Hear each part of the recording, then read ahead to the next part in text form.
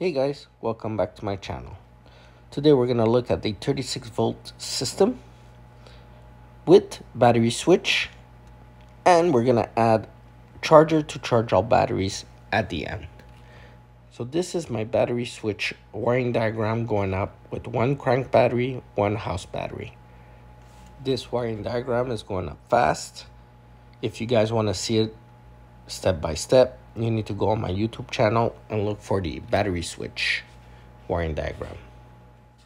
Now that this wiring diagram is done, we're going to move it up and to the left corner.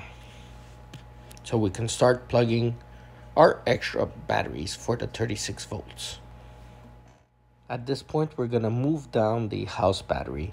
So it's going to be a little clearer when we do our connections for the 36 volt system we're going to need to add two more deep cycle batteries to be able to reach to our 36 volts. All right, it's time to connect these three batteries together. As we can see, we're to need to connect them in serial to get to our 36 volts. A little side note, please use the right size gauge wire for your electric engine. Okay, let's continue. So we're going to take the positive of the house battery and bring it to the negative of the middle battery. And then we'll have to take the positive of the middle battery and connect it to the negative of the third battery at the end.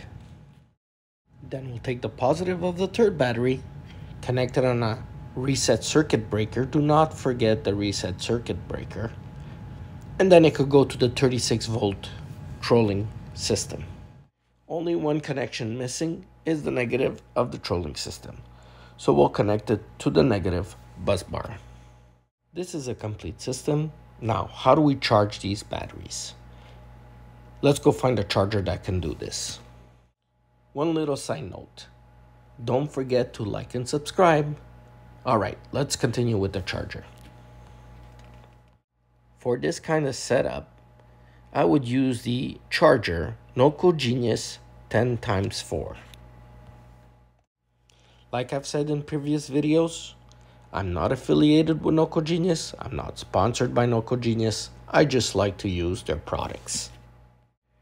We'll take output 1 of the Noco Genius and connect it to the cranking battery. So the black wire to the negative of the battery and the red wire to the positive of the battery.